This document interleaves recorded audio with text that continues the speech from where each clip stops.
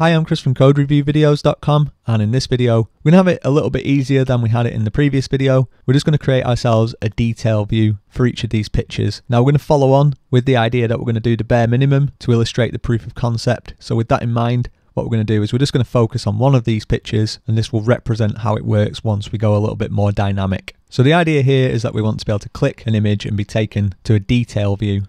And so to do that, what I'm going to do is I'm going to start by creating myself a new controller called the detail controller. Now, what you can do is just copy and paste from the gallery controller and delete the bits that you don't need. Or if you want the practice, you can go ahead and set this up yourself. So we're an app bundle controller. Our class is the detail controller. And we also want to extend Symfony's controller and of course, PhpStorm is going to bring the appropriate use statement in for me, saving me a bit of effort. We're going to have a public function, which in this case, I'm just going to call index action. We'll need an image, which at the moment we're not going to concern ourselves with. And then we want to return this render and we'll create a new template under a directory called detail, inside which we'll have the index html.twig. And into that template, we're going to pass this image and that should be about it at this stage. Once this image becomes an object, we'll have a few more properties available to us. But for now, it's just going to be a hard-coded string. So I'll go back into my gallery controller and I'll just take this first one out. And that should work because we're going to still be pointing at this images directory under which landscape summer beach is a valid image. So let's jump into resources views. I'm going to create that new template, which instead of typing it all out again, I'll just take a copy thereof. And a really nice thing about PhpStorm is it will go ahead and actually create the directory and the file inside that directory. And if you've got any further slashes in the path, it will also create any subdirectories as well. We'll start off by extends that base template. And then inside we'll have the block body.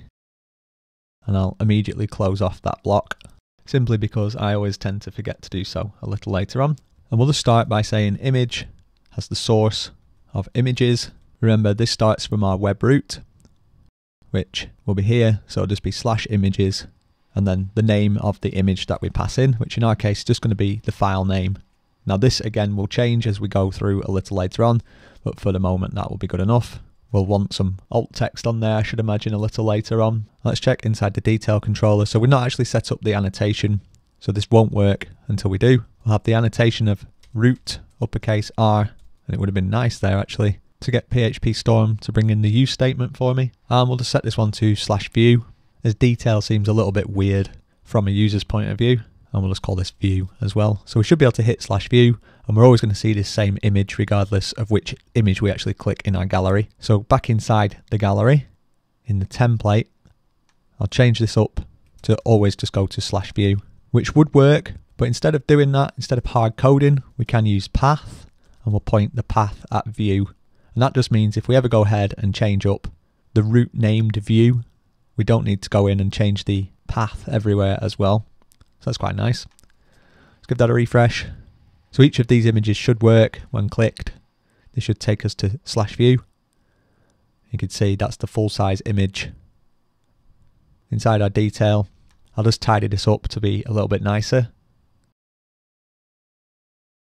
Basically, we're just making use of Bootstrap stuff here. So if we give it a refresh, just looks that little bit nicer. We'll have some tags a little later on. But the one interesting thing is that we're still going to allow people to click the image so that when they do, they can go ahead and do whatever they need to do, save the image as or, or whatever. I think on Windows it actually gives you the option to set that as your desktop.